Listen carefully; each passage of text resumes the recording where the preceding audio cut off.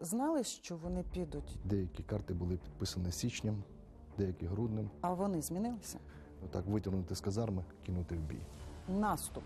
Він реальний Є бажання Росії замирати Білорусі війною. за рішенням йде відповідальність. Давали йому до тижня часу. Що за цей період було найважче? Була дуже хитка межа, коли росіяни могли зайти в Київ. Наші люди ну, роблять дива. Скільки часу ці люди вже на фронті? Дуже багато буде несподіванок. Що це за моменти? Від 50 до 70 тисяч у день вони випускали снарядом по нам. Найуспішніша операція. Це був такий дуже тяжкий бій. Плавиться метал, а люди стоять. І 200 чоловік зайшло, зайняло оборону і тримало цю переправу. Генерал-лейтенант Олександр Павлюк. Російсько-українську війну зустрів на сході у 2014 році командиром 24-ї окремої механізованої бригади. З березня 2017 року командував військами оперативного командування Захід. З липня 2021 до березня 2022 командувач операції об'єднаних сил. Навесні 2022 року під час повномасштабного вторгнення керував обороною Києва на посаді голови Київської обласної військової адміністрації. У березні 2022 року був нагороджений золотою зіркою Героя України. Нині командує угрупованням сил оборони столиці. Я рада вас вітати в нашій студії. Пане Олександре, чесно, хотіла почати з іншого, але от сьогодні зранку росіяни вносять корективи, атака шахідів. Проснулися від вибуху. Ви теж проснулися сьогодні від вибуху? А також шахіди ми вистачали на робочому місці. О котрій? Ну, 6 години ми вже були на пунктах управління і приступили до роботи. Робота була спокійна, планова. Не перший раз, я думаю, не останній. Але всі шахіди, які зайшли в зону ураження наших сил, були знищені. Як ви реально можете оцінити їхні ресурси? Наскільки їх ще може вистачити? Я скажу, ресурс їхній вже зовсім невеликий, особливо по ракетам, які залишалися від Радянського Союзу, які були виготовлені до моменту початку повноштабної агресії. Можливо сказати, що захватить на ну, максимум 2-3 таких потужних ще удара. Але те, що вони виробляють на даний момент, я поки не готовий сказати. Це невелика кількість, але все рівно виробництво йде, і тому ми готові до постійної роботи по цьому напрямку. Людський ресурс, особовий склад. Людський ресурс це основне. Може бути найсучасніша зброя, але якщо немає людей, які здатні застосовувати, немає людей, які бажають захистити свою країну, то це металобрухт в руках. А так наші люди ну, роблять дива для всіх іноземних фахівців, збивають устарілими іглами, які не озброєні, сучасні ракети, збивають стрілецькою зброєю. Ну, всі, всіх це дивує. Це дійсно бажання перемогти, бажання захистити свою Україну. Е, наступ, про який так багато говорять, і іноді там ворушіння ми спостерігаємо на кордоні з Білоруссю. Він реальний, Е, виходячи з цих позицій, що ви сказали, і щодо людського ресурсу, і щодо озброєння їхнього. Немає того потенціалу, який би можна було використати проти нас і мати успіх. Є бажання Росії замирати Білорусю війною. Це є. Заставити їх піти по тому шляху, де немає якби, дороги назад. В той же час, по нашим спостереженням, білоруси також не бажають воювати. Якщо зібрати той потенціал, який є в Білорусі, зі всіх збройних сил це до 20 тисяч, це той особовий склад, який призначений для війни, який буде наступати. Враховуючи ще трошки більше 10 тисяч росіян, ну це не той потенціал, який піде.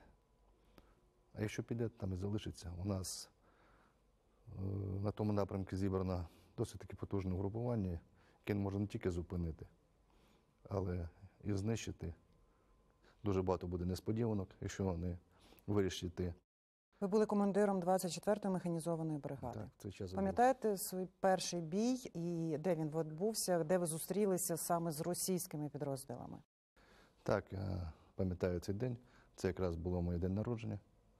Тоді, 20 серпня 2014 року, російські війська спробували перерізати ту дорогу життя, яка була навколо Луганська, і відрізати е, 80-ту десантно-штурмову бригаду і е, мій батальйон, який був в кінцевій точці, це Хрещевате, Е, для того, щоб створити перший котел, як вони тоді думали, подібне Іловайську. Ну і максимально заставити нас стати на коліна. Це був такий дуже тяжкий бій для нас перший, тому що засовувались всі види зброї, починаючи з потужної артилерійської підготовки, кінчаючи атаками танків, десантників, які ще 12 серпня були в Пскові, а вже 20-го знаходилися на території України і вели бойові дії з нами. Скільки тривав бій? Бій тривав, ну, починає з 4 ранку, десь до 15 години. Десь тільки після 15 бій, бій почав затихати, коли ми викрили їхні основні резерви зосередження і накрили їх артилерійським вогнем. На цьому бій закінчився, тому що вони втратили повністю свою боєздатність. А що наші Збройні Сили України мали? Які ресурси? З чим пішли на війну? Ми пішли на війну з тим, що було. У нас да, залишалася зброя радянського виробництва, але ми зовсім не мали безпілотної авіації, ми зовсім не мали артилерійської розвідки, ми мали дуже слабкий зв'язок. І це давало такий негативний вплив на наші дії. Але незважаючи на це, дякуючи в першу чергу допомогі волонтерів, у нас почали появлятися і безпілотники, почали появлятися і прибори нічного бачення, також і засоби зв'язку, да, це мотороли, транкинги, але і з цим ми змогли виконати бойові задачі. Спілкуючись тоді з військовими в 2014 році під Слов'янськом, і для них теж був шок, що це Росія. Ну я думаю, що для всіх був шок, що росіяни пішли проти українців. Що переживали ваші бійці? Які слова знаходили? Ви як командир? Знаєте, тяжко було мені самому зрозуміти, що це не брат з тої сторони, а це лютий ворог, який просто маскувався. І це як холодний душ був, бо ми до кінця не вірили, що все-таки Росія буде нас стріляти. Перший удар по моєму підрозділу був 11 вересня. Це підрозділ, який знаходився в розпорядженні іншої бригади 72-ї Зеленопілля, коли з території Росії нічний табір розстріляли з градів. Тоді було багато і загиблих, поранених. І тоді перший раз ми так в собі відчули таку огиду. Ми зрозуміли, що в нас далі варіантів немає. Якщо ми хочемо залишитися країною, ми повинні стояти до кінця і знищувати всю цю мразь, яка на нас іде. Це перша втрата була? Перша втрата була е, 19 червня. Тоді ми проводили наступальні дії для того, щоб вийти, захопити плацдарм перед тим, як Слов'янськ ми звільнювали. І тоді задачу викинули, але загинув тоді мій командир батальйону. Він попав в засідку першого командира роти, і з ним сім розвідників. Це тоді такі самі болючі були втрати, перші втрати. І, на жаль, самих гідних, самих професійних людей, ну, які йшли вперед, вони перші гинули. Такий був і Ігор Ляшенко, такий був і Степан Воробець. Стільки років вже пройшло, але вони завжди залишаться в пам'яті. Бо це на таких хлопцях дійсно трималася Україна і тримається до сих пір.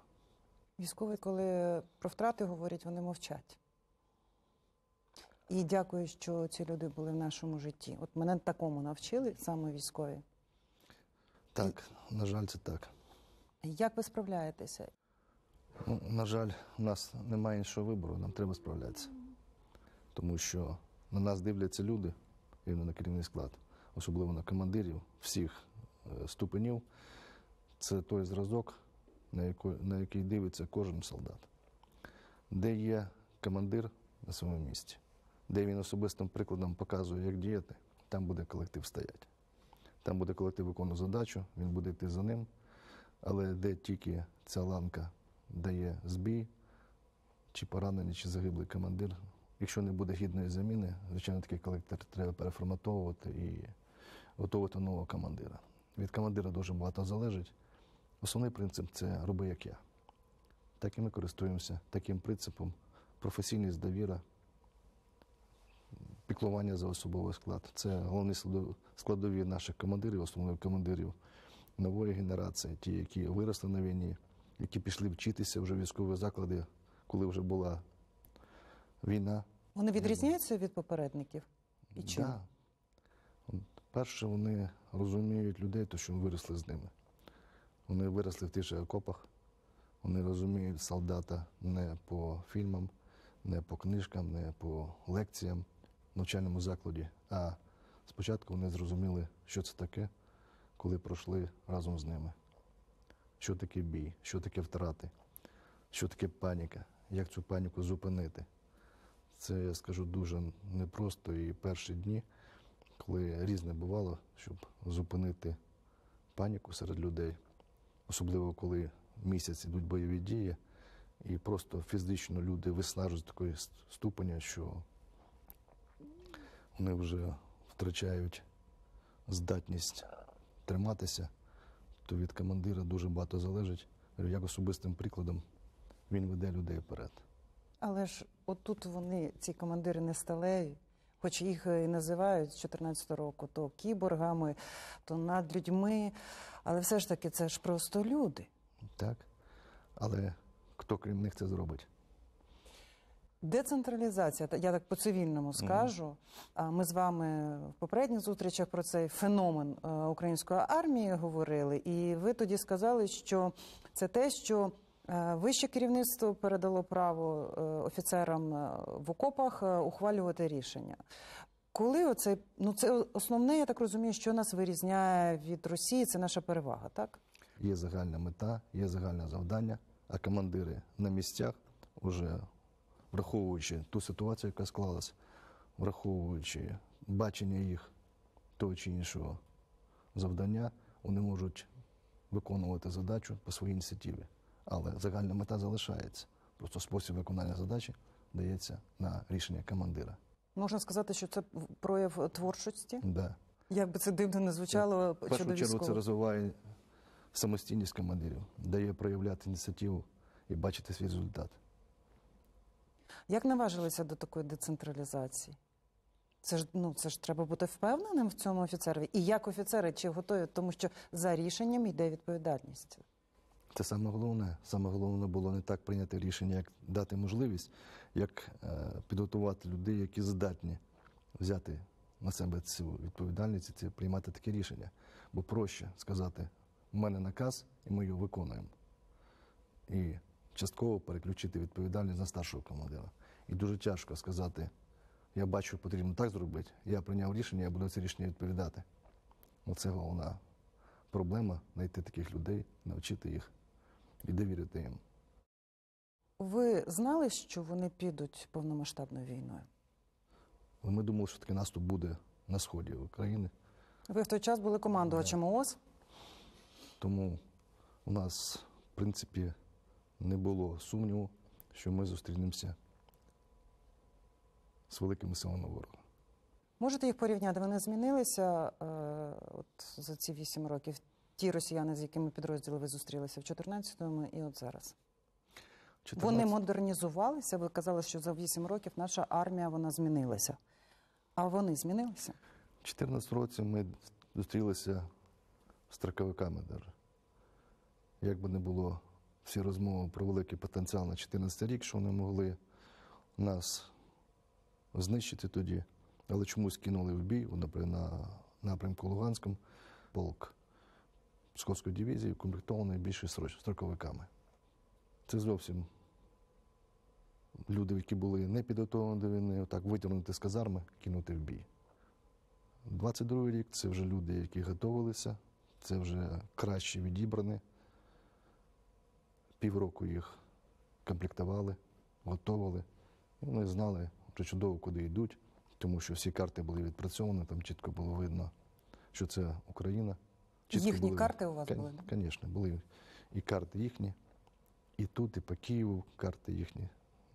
Все це планували зарані. Деякі карти були підписані січнем, деякі груднем.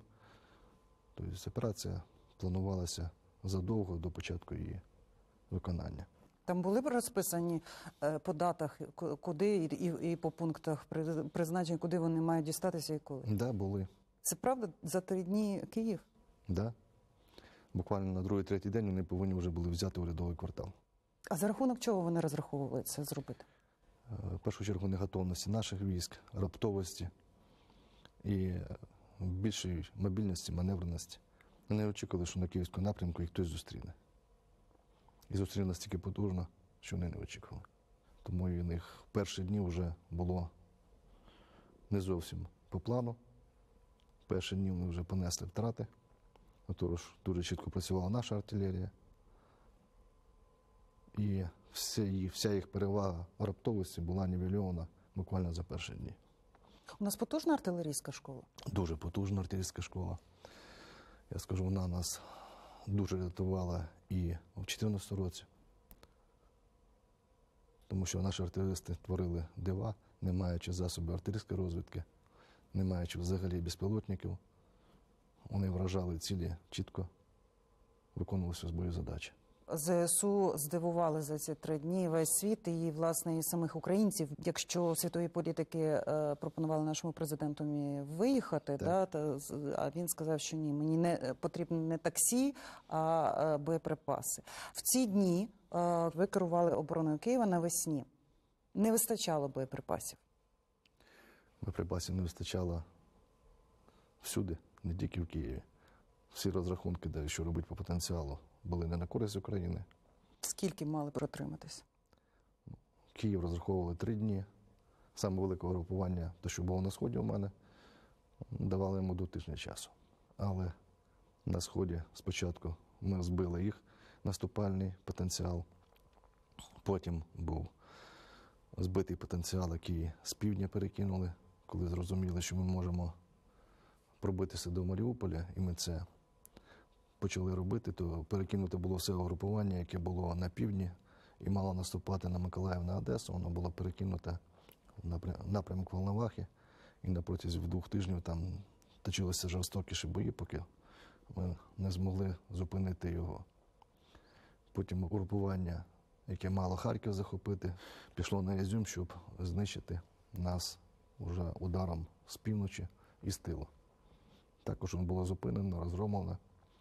Тобто угрупування, що було на сході, о, сковало всім можливі подальші дії противника. І він вимушений був зробити жест доброї волі, тому що на двох таких напрямках він не міг. Він вже розумів, що не вистачає сили засобів у нього, щоб проводити якісь дії і на Києві, і на Сході.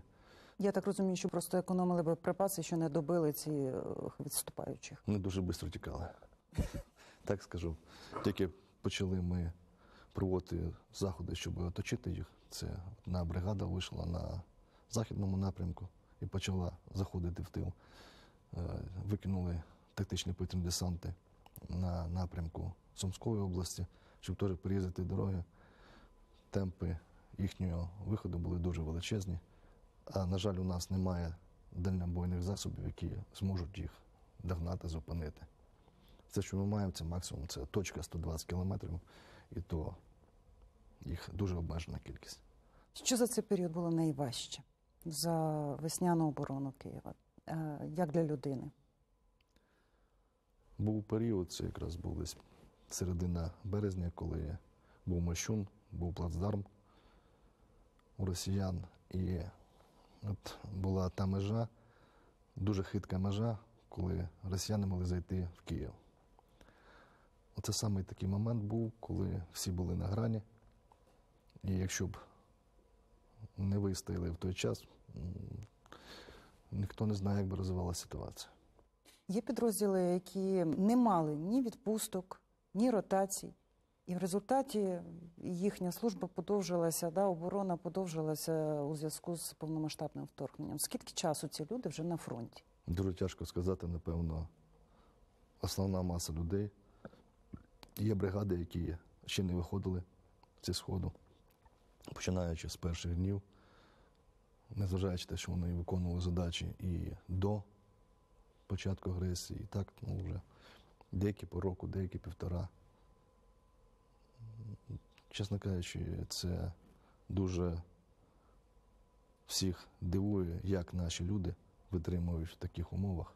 І про це я хочу спитати. Да. Це просто ну, не можна пояснити, тому що реально таких дій, таких боїв ну, хватає на місяць, два-три, не більше. Просто людського потенціалу витримати, не вигоріти. Наші тримаються більше. Наші тримаються деякі по півроку. В повсякденних боях. Можливо, розуміють, що нам відступати немає куди. Україна за нами. І вона буде процвітати, жити. Ну, багато слів тяжко сказати, це все в емоції. Найтакий чутливіший момент, можливо, коли ж до сліз е, серце було переповнене добротою, теплом. Таке було? Було і не один раз. Що це за моменти? Перші моменти були, напевно, 14 рік, коли мені вдалося витащити ну, з повного оточення свої підрозділи, і коли, знаєте, виходять люди живі, на техніці здорові, і так. Ну, такий момент, що його тяжко описати словами, але його ніколи не забудеш. Тому що людина це саме велика цінність і зберегти своїх підлеглих, зберегти з тими, ким воюєш, це, напевно, саме основне. На жаль, не завжди вдається, тому що це війна. Але от ці моменти вони залишаються назавжди. Моменти, коли гинуть найближчі хлопці, з якими починав війну, з якими ведеш війну, яким ще вчора ти пив каву, а сьогодні його вже несуть грузом 200. Теж такі моменти, які тяжко спокійно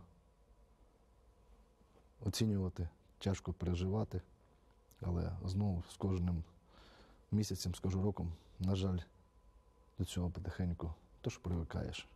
Ти вже розумієш, що в нас немає варіантів. Ми повинні захистити любою ціною Україну. І це розуміють всі командири на всіх ланках.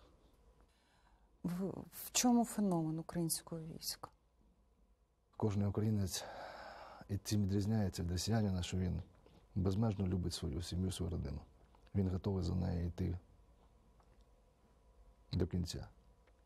І в загальному ми стоїмо за свій дім. Нам немає куди відступати. Ми вміємо воювати. Ми сотні років воюємо. Сотні років нас нищать. Як не голодомор, так війна.